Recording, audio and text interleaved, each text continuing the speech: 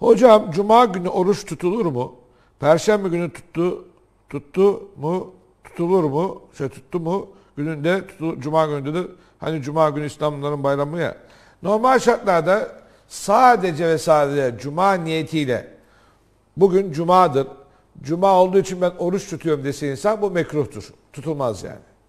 Niçin? Çünkü cuma niyetiyle ne yapma tutmaz. Ama bir insan perşembe oruç tutmuş. Peşinden cumayı ona bağlamış. Bunda bir sıkıntı olmaz. Hatta ve hatta şöyle söylüyorum. Recep aylarında bu ay Recep ayıdır.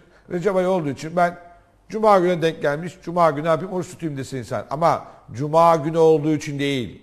Recep ayı olduğu için oruç tutsa onda da sıkıntı olmaz.